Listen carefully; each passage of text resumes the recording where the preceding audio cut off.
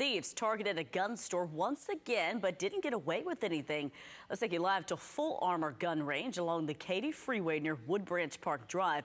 Now, we've reported on 29 previous burglary attempts here in the last few years. Minutes ago, the owner took us inside to look at the damage. About 3 a.m., police say several thieves busted in the front doors into the gun store, but all of the guns were placed in a high security safe, so they didn't get anything. Those guns are stored in that safe every night.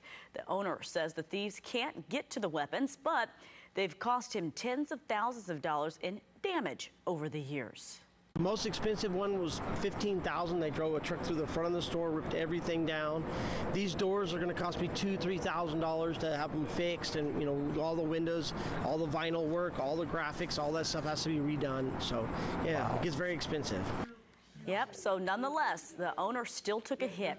Today, the thieves were in and out in 15 seconds. That owner says he and his managers will protect their store and will shoot future thieves who try to break in.